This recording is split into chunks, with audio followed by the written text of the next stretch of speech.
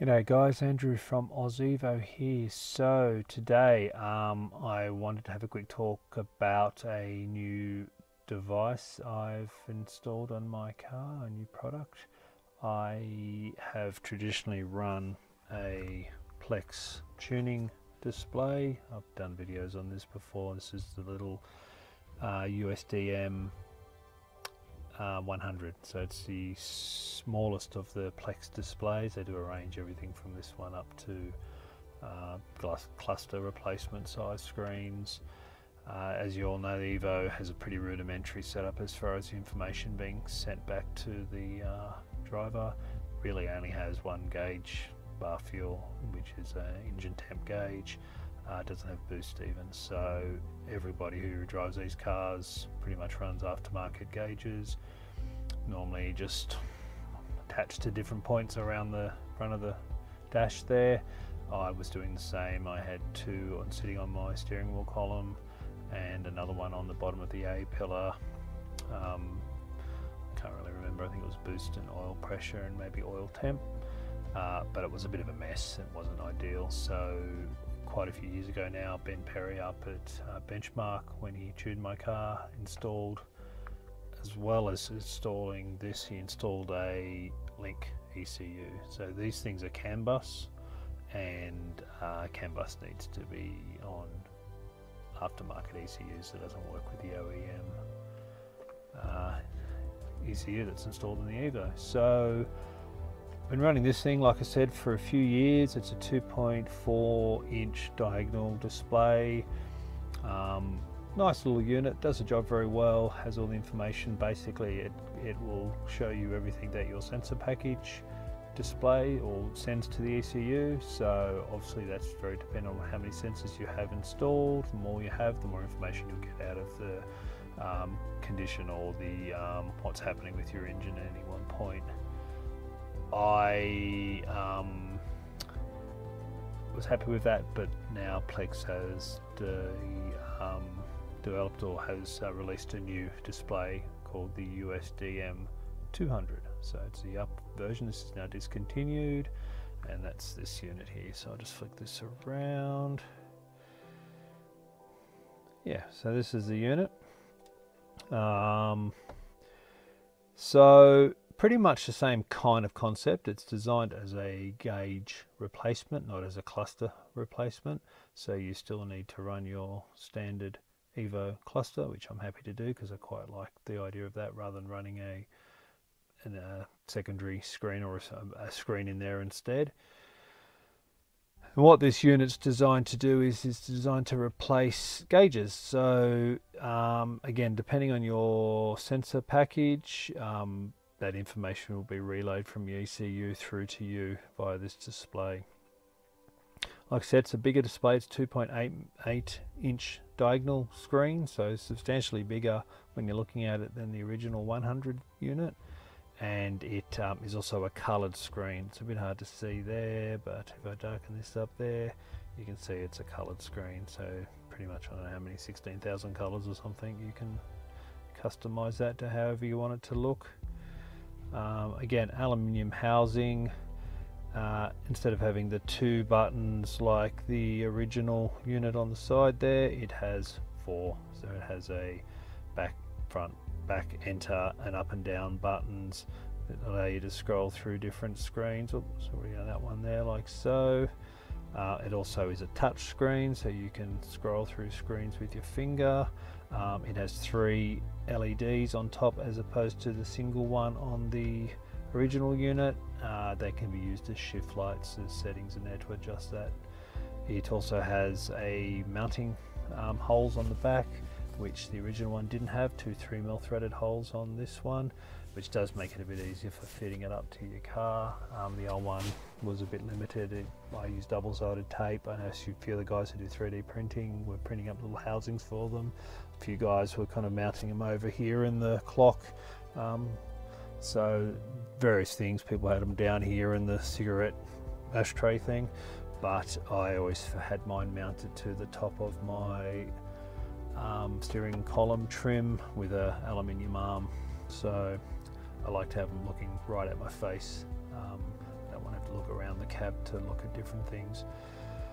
Uh, yeah, so um, it's also another thing too, which is a bit different, is this one can be powered from a USB from a laptop, whereas the old one had to be powered by the car. So that powered from the laptop doesn't sound like a big thing, but it means you can sit in your lounge room and muck around with it and get it running and adjust the screens and do all the work you need to do it without having to sit in your car and do it. So it sounds like a kind of little thing, but it actually makes a big difference in the uh, the how the thing works and how easy it is to kind of work with.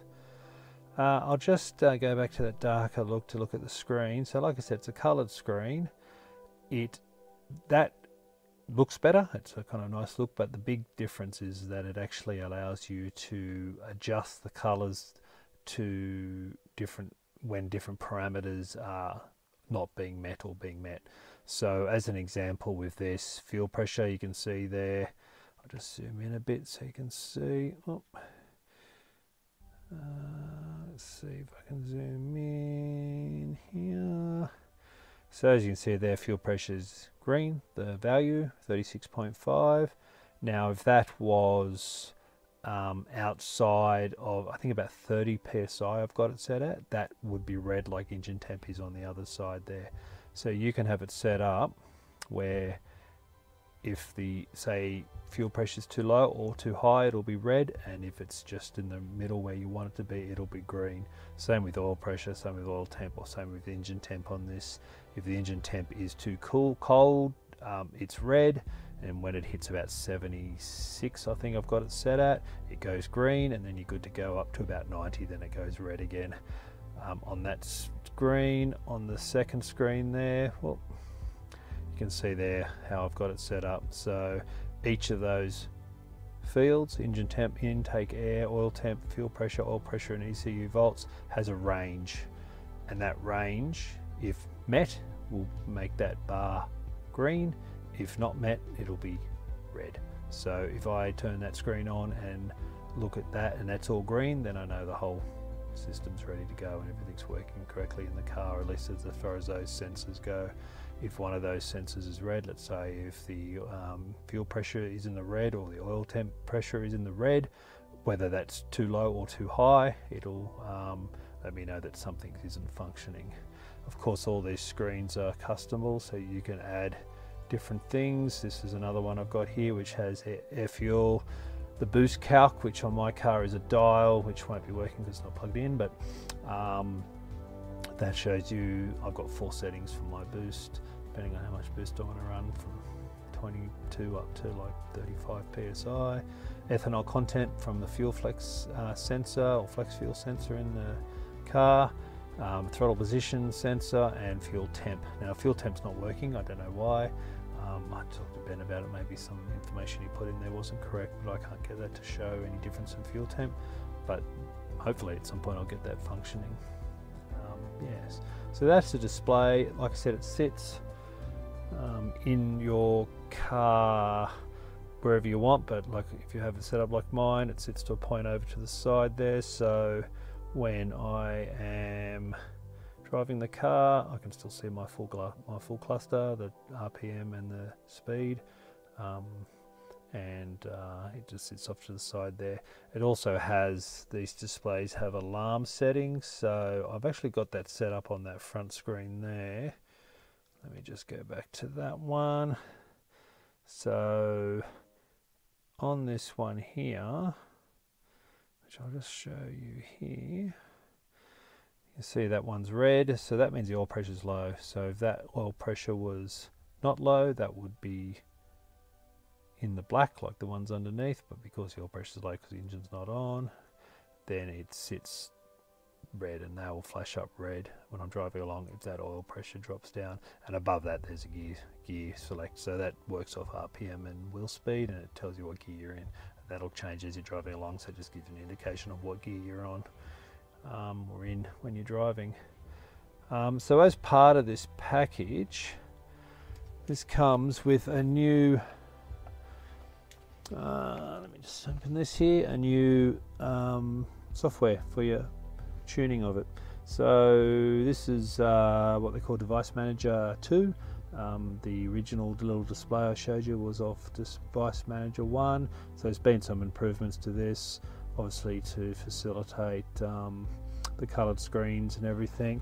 And you can go in here, select the screen that you want to do, and then you can go adding these tiles in different versions, and you can then go in if you adjust stuff, and it gives you the ability to adjust low and high pressures for this one for um, boost um, so obviously 36.5 my high if I go above 36.5 I'm going to get that boost will turn change color to red.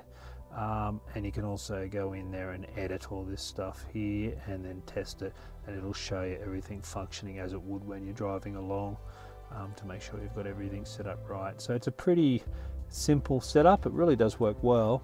Um, these type of things aren't my strong suit as far as programming kind of computers and stuff in this regards but I've had no problems really getting all this working.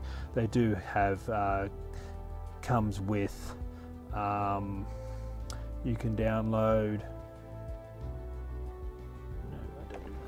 um, you can download um, Link or Motec or Haltech or whatever um, preset kind of sets of uh, information. So you can just load those up. You don't have to go and enter each thing uh, um, individually. Uh, there's a setup page here. So this is like CAN bus information. This is where it gets a bit complicated when you're setting up um, your CAN bus um, hex ID hexes and stuff like that in here. Um, so a lot of these ones are from the factory or from um, Plex themselves as part of a link um, package. And then if you go down the bottom here um, there's a few extra there like the fuel temp and boost cal and all those which ones I've entered myself to get them to function. So as you click on these things it'll come up with the information um, and that's how you go entering that information into the unit. So it's a bit of a steep learning curve. This pro this um, program is in don't know if it still is, but was in beta for a while. They're still improving it. This unit, this display is brand new. It's only been on the market now for a week. I've got one of, probably one of the first kind of ones out to customers on the on the planet. I would think there wouldn't be too many floating around. So um, I've been a big fan of Plex products um, for a while. Um, I think they're a good company to deal with. I've had no issues with getting help when needed. Um, they're always happy to email me and answer questions if I've got any problems. So um, yeah, so uh, a few other things you can set up in here. You've got stuff like alarms and stuff that you can set up here, and these basically allow you to set a say oil pressure. You can set up all your oil pressure where you want things to be, so at 1000 RPM or at you know 7000 rpm if oil pressure drops below 45 psi it'll actually flash up a full screen warning on the display to um, let you know there's something gone wrong there. So things like oil pressure is good um, fuel pressure you can set up highs and lows. So if it goes too high you can um, you know there might be a you know a filter that's blocked or something. If it goes too low, you could have a hole or a, a, line down or something like that, or a pump fail. And I mean, obviously your ECU is doing the job here to protect your motor, but this will let you know what's going on, where the problems are. So yeah, so that's the display and the kind of the idea of it all. I think it's uh, a good little unit. Um, I'm still playing around with it a little bit. It's not something that I've um, had for very long. I've only had it for a few days really, but I've um, yeah so far I've um, you know got it functioning on my car now. So um, yeah, so I've been pretty happy with it at this point, and uh, hopefully as uh, Plex uh, release more updated versions of the firmware for the display and for the uh, programming, um, more and more things will come on board. It has like urine sensors and GPSs and stuff like that. You can have kind of turned on in the unit. I haven't got that stuff. This is just the more basic display, but um, it has the ability to log lots of engine parameters. Um, you can go back to and stuff like that, which I haven't set up. So I'll have to get around to that at some point. Anyway, again, so available from Plex uh, Tuning in a in Greece um, directly. It's about a thousand dollars for this unit, so they're not a cheap display. I know you can get quite like larger displays from Haltech and stuff for probably less price, less dollars, but very very good quality aluminium cases and stuff, and a um, little bit different just being a small display, um, but a very neat option for for a car compared to having normal dial kind of displays all over the place. Uh, yeah, and maybe you can get them from Ben up at uh, Benchmark. I'm not too sure what his situation is with these displays at this point. I bought my original one from him. I know that Plex were having a bit of trouble with supply of product for a while there during COVID, so um, I think Ben was having a bit of trouble getting stuff, but whether that's remedied itself now, uh, it's hard to say. Um, I don't know, but a phone call would answer that question if you're interested. Um, if not, yeah, um, Plex in Greece will definitely sell you one. Okay, I'll flip this around. Just that out there.